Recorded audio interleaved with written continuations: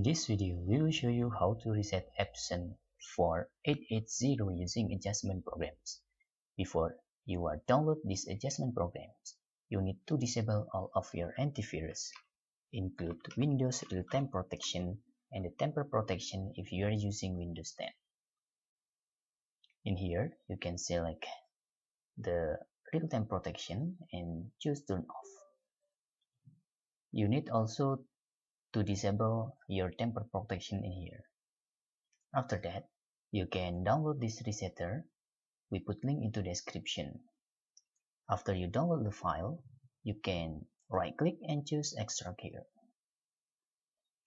Then open the resetter folder and running adjustment program by right click and choose run as administrator here.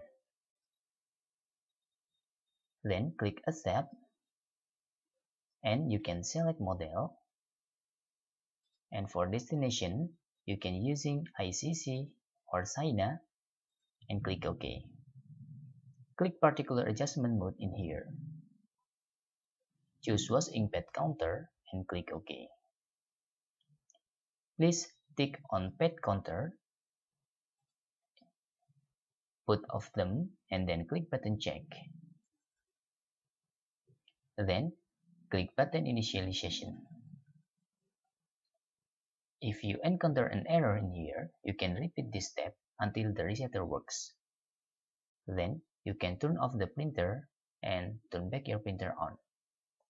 That's all.